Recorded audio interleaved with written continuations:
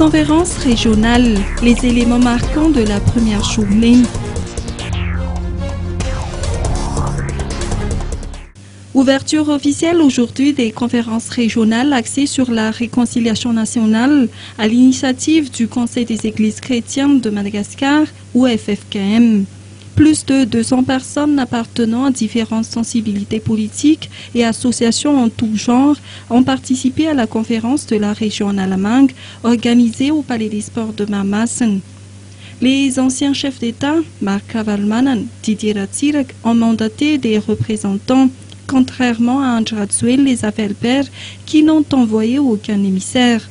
Le président Irazon Armampian a été lui aussi représenté d'après les précisions apportées par le pasteur David Rakutunirin, président du FFKM dans la région en Alamangue. La Fédération des ex-détenus politiques ou FEDEP s'est rendue à la conférence pour marquer son soutien au processus de réconciliation.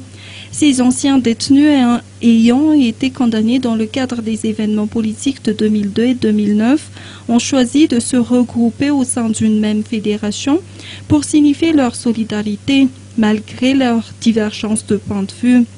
Ceci traduit la volonté de la FEDEP de s'engager vers le processus, a martelé Nour Mananzar, secrétaire général de la fédération.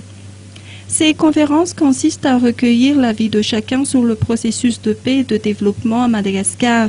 Les participants ont été repartis en trois commissions. Chacun de ces commissions devrait travailler sur une liste de questionnaires. Ces 16 questions concernent notamment la refondation de la nation, l'avenir du pays et l'apaisement politique. Les conférences régionales se poursuivront jusqu'au 7 mars. Le lendemain même, soit ce dimanche, une messe sera célébrée par le FFKM pour solliciter la bénédiction divine étant donné les épreuves que traverse le pays à cause des cataclysmes naturels.